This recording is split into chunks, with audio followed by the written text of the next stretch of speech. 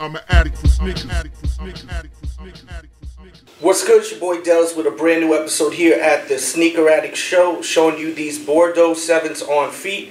These are not the 2015 retros.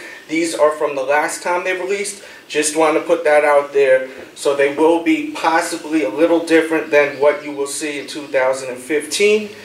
All in all, though, these are pretty hot, man. One of my favorite, if not my favorite, Jordan 7s of all time. As far as the fit, I recommend going true to size.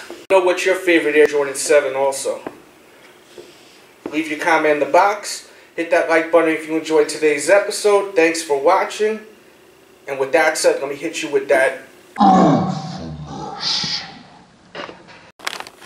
Burp, burp, burp, burp, burp, birds eye view.